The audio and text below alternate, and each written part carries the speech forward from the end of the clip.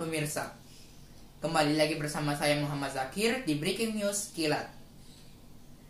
Berita kita pada hari ini adalah tentang atlet Indonesia yang berhasil meraih medali di Olimpiade Tokyo 2020. Indonesia dengan segenap kekuatannya berhasil meraih satu medali emas, satu medali perak, dan tiga medali perunggu. Yang mendapatkan medali emas adalah pasangan ganda putri bulu tangkis Indonesia yang bernama Gracia Poli dan Apriani Rahayu.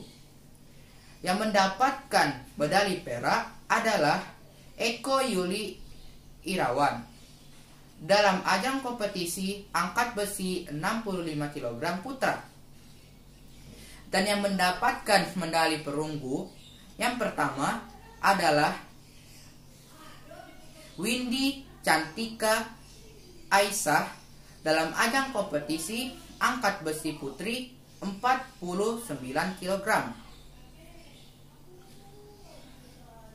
Yang kedua adalah Anthony Ginting dalam ajang kompetisi tunggal putra bulu tangkis.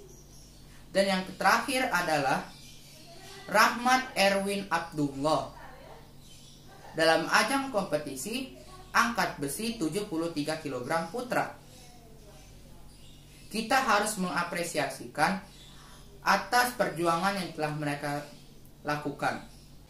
Sekian berita kita pada hari ini. Semoga dapat bermanfaat untuk kita semua.